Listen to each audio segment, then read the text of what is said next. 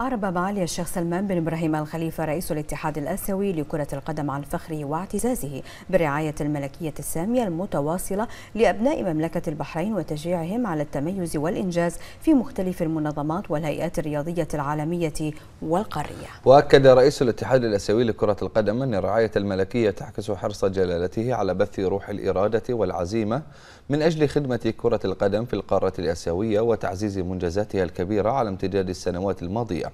وأكد معاليه أن دعم جلالة الملك المعظم يشكل على الدوام الحافز الأكبر لبذل كل جهد من شأنه وضع البرامج والخطط الرامية إلى تحقيق ما تصبو إليه أسرة كرة القدم الأسيوية من تطور ونماء. وعاهد معاليه جلالة الملك المعظم على مواصلة العمل بكل عزم لإثبات جدارة أبناء المملكة في تحمل أمانة المسؤولية في المنظمات الرياضية الدولية والقارية.